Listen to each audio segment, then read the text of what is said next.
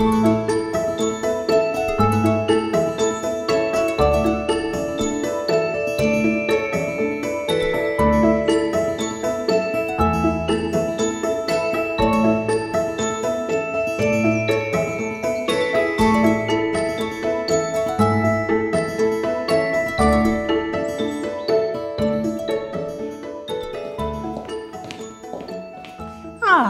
hello again. Nice to see you.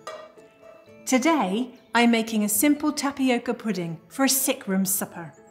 For this recipe, you will need tapioca, lemon, cinnamon, milk, sugar, eggs, and pastry.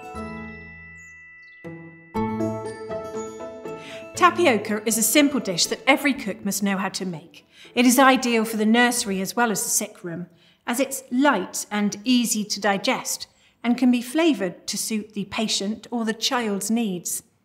Tapioca does take a long time to cook, and so I'm going to simply cook it with some milk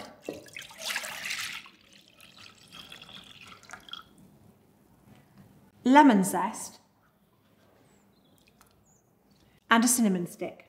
Then I'm going to bring it to the boil and put it to the side of the range to let it gently simmer for about two hours.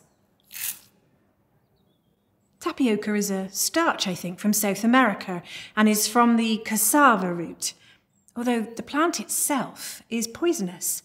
I have no idea how they discovered it. I better get this cooking.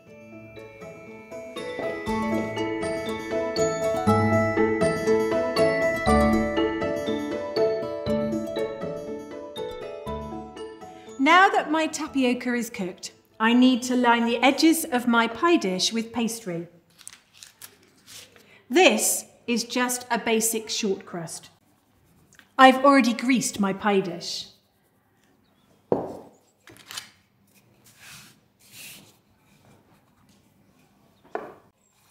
This is a very versatile pudding. You can make it with milk or cream, and you can flavour it with spices as you like.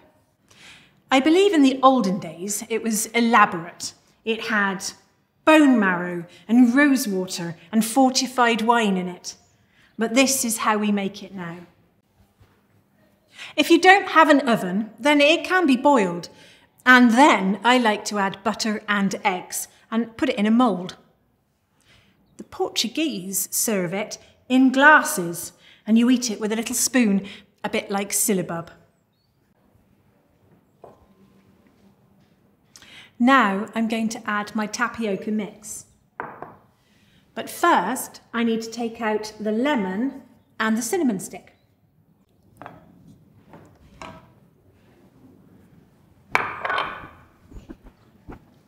And now I'm going to add some sugar and some eggs. The mix is cool enough for them not to scramble, but they will thicken it as it cooks.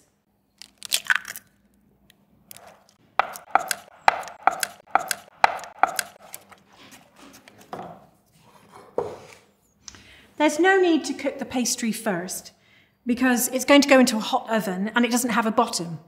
Otherwise, then it would be a tart or an open pie.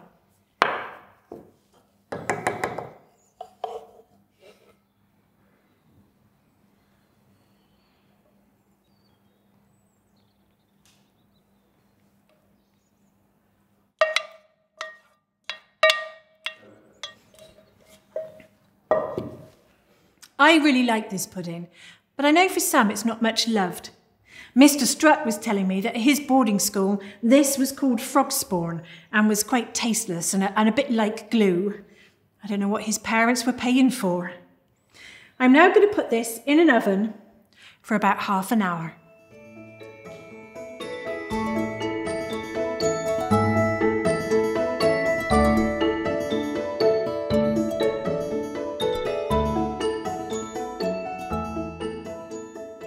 My pudding's just out of the oven and it smells very good. Puddings like this are perfect for the sick room as it's important to provide dishes that are simple and delicate so as not to excite emotion or nausea. I'll serve this straight away. There we are, tapioca pudding, a simple tasty dish ideal for those with small or unformed appetites.